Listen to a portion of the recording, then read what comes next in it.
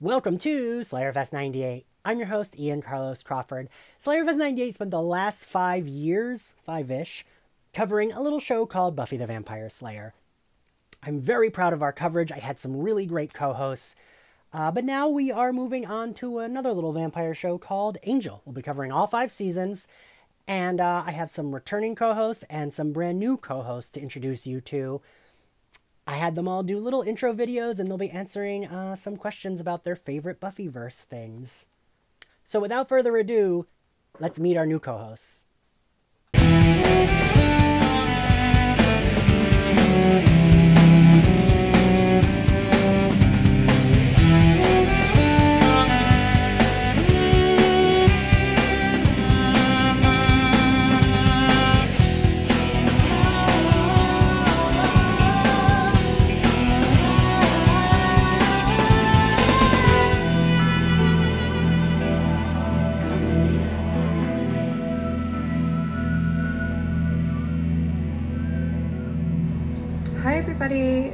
it's Summer Bishil. I'm super excited to co-host Slayer Fest. My name is Zachary Patton Garcia. Hi, I'm Ryan Houlihan. I'm a writer and editor, a comedian, a former fake Real Housewife, a drag queen, and now co-host of Slayerfest 98 during its Angel recap. I'm Ashley. Hi, I'm Ian. I'm a creator of a little channel called Passion of the Nerd. Hey everybody, I'm Dana Piccoli.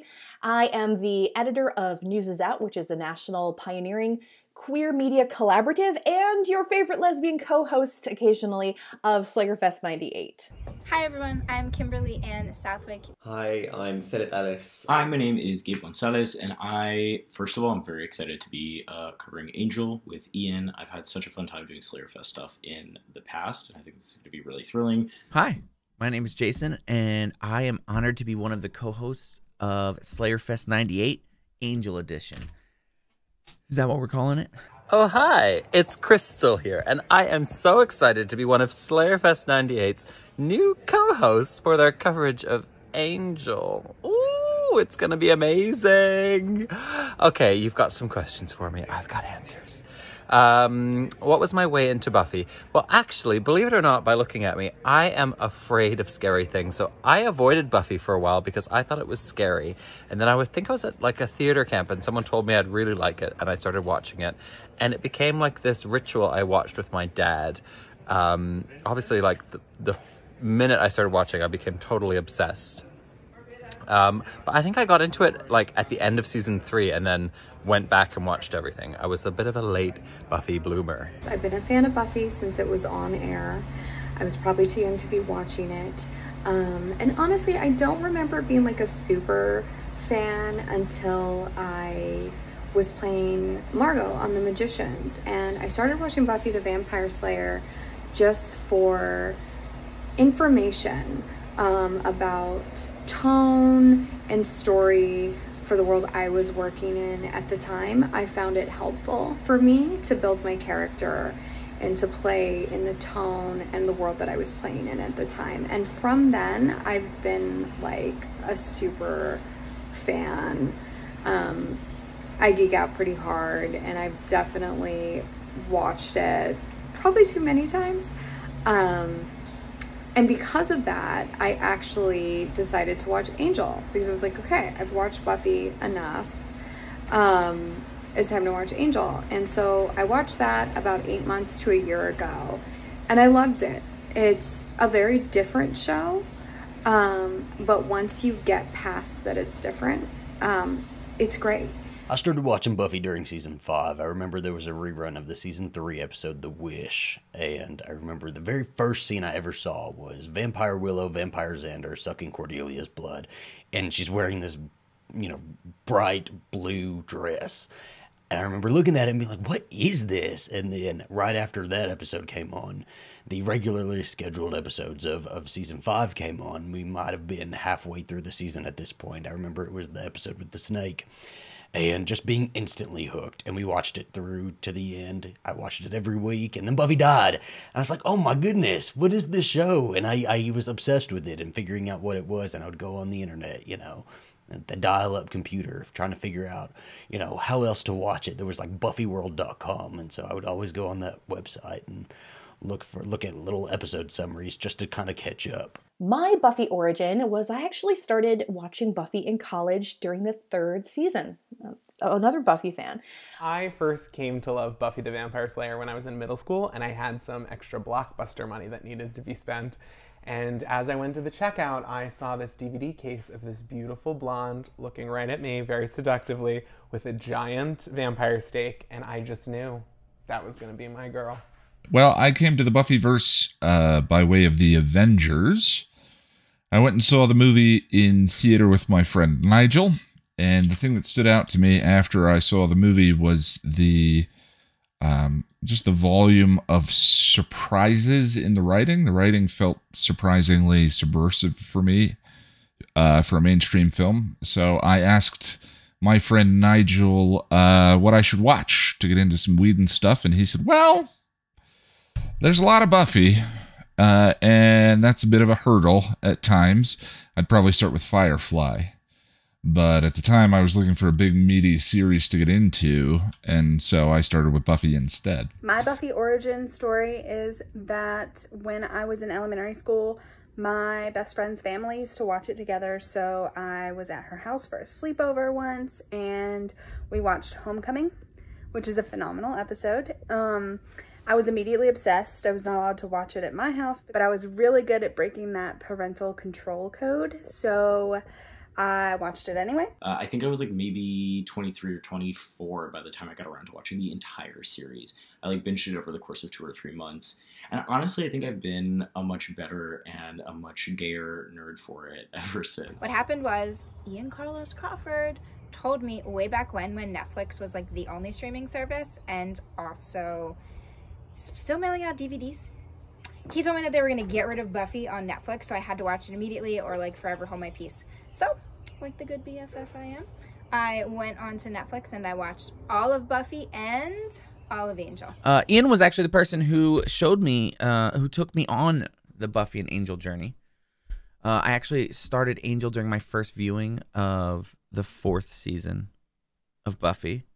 I was watching with Ian, so I had to watch everything properly as you know. I first got into Buffy, I think around season two when it was first airing back in the 90s, and then just sort of immediately became obsessed. And then a little show called Angel came along and filled the hole in my life that had been created by being obsessed with Buffy and not having unlimited Buffy content.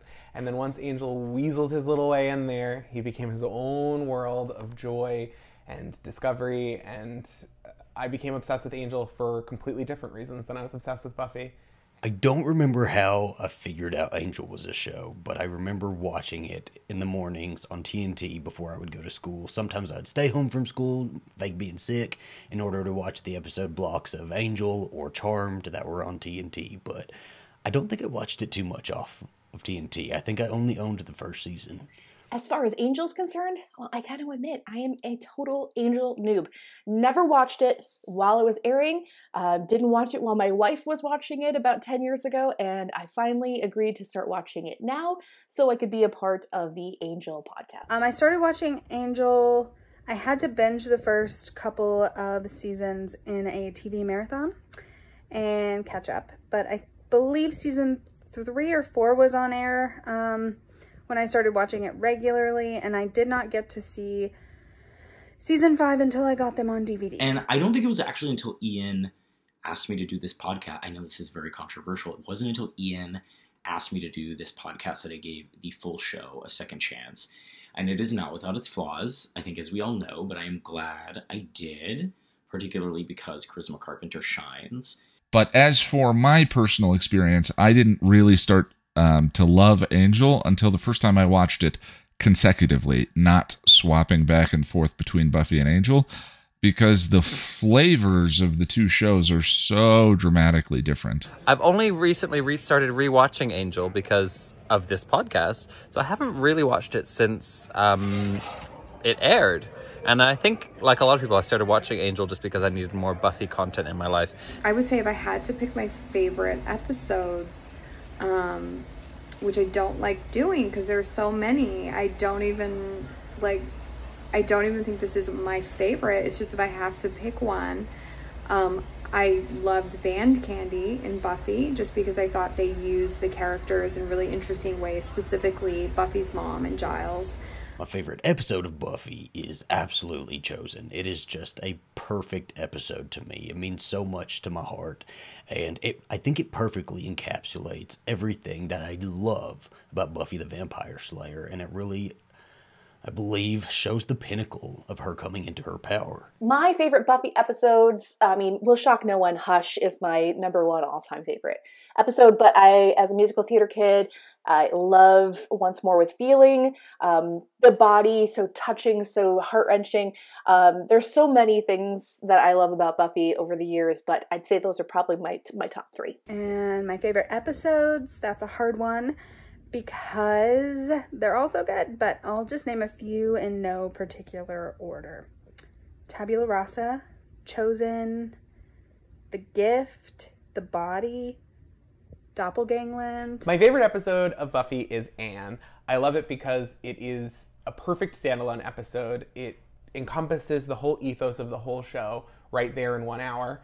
And it ends with Buffy reclaiming her power over her oppressor, holding a hammer and a sickle. I mean, what more could you ask for? Favorites are all the predictable tentpole episodes. Um, off the top of my head, that would be The Gift, Once More with Feeling, um, Becoming Part Two, Band Candy, and Fear Itself, I guess. Hush. Also, I really like Smashed. I feel like I'm not supposed to, though. That's like a boo-boo, but whatever. Uh, and Chosen. Oh, that speech. Anyway. My favorite Buffy episodes are probably uh, the ones where Riley is not present. Yeah. I think when it comes to my favourite episodes of Buffy and Angel, uh, my answer is probably the same, and it's anything to do with faith. Um, I think the arcs that she goes on across both shows is just such a, a great, great story. Um, so, and, and, and those faith episodes in the early seasons of Angel, in, in or season one in particular, um, are just phenomenal. I want to go with like not an unexpected answer, but like not one of the typical ones, and also just like look at what I love about the show. So for me, my choice is Doppelgangland. It has uh, all the boxes I need checked. Right, we have Willow and Anya. They are up to hijinks and they are up to dark magic. This is crucial for any good episode. Don't we all have the same favorite episodes? The musical, Hush. I love conversations with dead people. Anytime Buffy and Faith fight. Whenever Willow's evil. You know, gay shit. and then for Angel, I would say my favorite was I Will Remember You because Buffy was on that episode and it was just a really um, big episode as far as their relationship went. Um, so I loved that one. And honestly, season four, the whole season four I loved of Angel. My favorite Angel episode is, of course, You're Welcome. My sweet, sweet girl Cordelia comes back and says goodbye in the perfect, most loving, tender performance that I have ever watched someone give in the Buffyverse, and we are forever indebted to Charisma Carpenter for what she did for the show, specifically what she did for that episode in that season. Favorite Angel episodes? Uh, the short answer is season five. Uh, I don't really have favorite episodes of Angel. I haven't watched the entire thing, so I don't think that's fair. But anytime Faith comes uh, into an Angel episode, I think it's just like perfect. Um, my favorite Angel episodes, any crossovers. So, In the Dark is the crossover with Harsh Light of Day. Um, I Will Remember You, obviously, is a phenomenal episode. Um, I really love Room with a View because I love Cordelia and I love Phantom Dennis. And, you know, my favorite Angel episodes on the opposite are any episodes with Fred. Uh, but of course, the series finale, because I believe the series finale was better than Buffy's series finale. So I, I, I love it. I'm excited. My favorite Angel episodes, we're going to go with Reunion, Spin the Bottle, and uh, Smile Time. I guess I like the funny ones. Um, but for me, I think my favorite episode in season one is naturally Sanctuary. It's the episode where we get Buffy and Faith at the same time. It is magic. I always love their dynamic. It's probably the same gay shit. So whenever when Cordelia went evil, that was fun. Um, all the stuff with Darla, Um, oh my god, Darla staking herself, camp. Um, oh, Willow and Cordelia having a f- magic fight. I mean, gay shit, you know? Um, I am most looking forward to watching from start to finish. You know, I'm not too familiar with Angel as a show on its own. I remember bits and pieces of it, little plot points here and there, and it'd be nice to watch it from the beginning. As far as what I am looking forward to discussing on Angel, I hope that Ian and and company can make me an Angel stan because I am not the biggest Angel fan, and I would love to be proven wrong uh, by Angel. And I hear from everyone that it will will definitely change my mind. Uh, but that is what I'm really hoping to get out of uh, this Angel watch. I can't wait to talk about Angel because it is just such fertile ground for analysis, and there's so much to pull apart for Buffy fans, and it's gone kind of underappreciated in the shadow of Buffy, which came first. Um, I also think Buffy is easier to understand because it's about your teenage years, and your teenage years are just by nature a little bit mm, simpler than the problems of your 20s. And Angel gets pretty dark at moments because it's tackling young adulthood, and young adulthood is a pretty dark time. So I can't wait to really sink my teeth into pulling apart my one of my favorite shows ever with some of the best guests from Slayerfest 98 now as co-hosts. Well, I started the YouTube channel because I couldn't get any of my close friends to watch these shows. Um, you know, when you've seen a very significant piece of media that is super important to you, the first thing that you want to do is rant and rave about it to um, people who are close to you. And I couldn't get anyone to watch Buffy the Vampire Slayer, so I started the show. But that remains the reason that I talk about these things to this day. What I'm looking forward to the most about revisiting this series with Slayerfest is that I have really harsh opinions on it. Um, and I don't revisit it. So I'm really looking forward to going through it with the Slayerfest gang because they always make me feel more love for the episodes than I already had. I'm also super excited to talk about the strong sexual tension between Angel and Lindsey.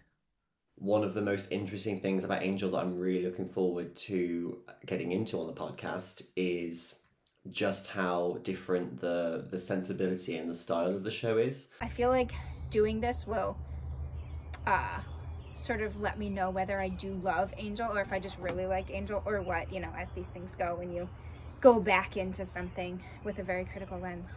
I think one of the things I am most excited to discuss about Angel is kind of the world building that it does in terms of like demons and how they function in the world and how they exist or like coexist with humans. And what am I looking forward to talking about? Um, Cordelia's hairstyles. I think we all stand um, Cordelia so hard because she was amazing and she said exactly what was on her mind at the time it was on her mind. And I think you weren't seeing that a lot on television and it was refreshing and bold and iconic. What's not to love about Cordelia Chase? The show needed her. Without her, the show wouldn't have worked. Cordelia, you know? Just one of the greatest character arcs of all time. Everyone stands Cordelia. I mean, it's practically Buffy law. She is probably, let's put Buffy and Willow to the side. We'll put them right here. Other than Buffy and Willow, who, you know, there's a case to be made for the Father, Son, and the Holy Spirit. I believe Cordelia to be the most complex and nuanced and lovingly created character in the Buffyverse. Why do we stand Cordelia? I mean, come on. Why why wouldn't you? I mean, the fact that she is just such a queen uh, and so vulnerable at the same time. I think that's why we that's that's why we stand. I mean, she she has everything, right? she's she's kind of she's kind of perfect. I think we all stand Cordelia Chase because she's a queen. Um, she fights the good fight. She doesn't take shit from anyone. She has phenomenal style and you know, she's just she is who she is and she's not changing for anyone. Um, she's not going to hold back, but I just think that she is living her best life regardless of what anyone thinks about it. And she's just amazing. And then, of course, I just can't wait to get into the Cordelia of it all. If we're really going to get down to it, the reason we all stand Charisma Carpenter uh, as Cordelia is because Charisma Carpenter knew what the fuck she was doing. Like, she is the heartbeat of that show. I think that the ensemble around him um, was allowed to shine, and so much so that I think they have some of the best stories in that series. And the thing is, no one really has a better arc of that group than Cordelia until. But we'll get there. Okay, so that's it for me right now. Uh, I have to go. I have to get back to watching Angel season one. Uh, so um, thank you so much, and I can't wait to see you on the podcast. Again, super excited to co host and uh, discuss in more detail and geek out with people who love these shows as much as I do. Bye. Cheers. I'll see you at. No, I won't see you. I'll um be in your ears. Are, are we done here? I can't wait to do this. And um, see you all on the pod real soon. Mwah! I'm really excited to get to this coverage. Thank you guys so much for watching this video, and thank you so much for uh, supporting the podcast and listening. Bye.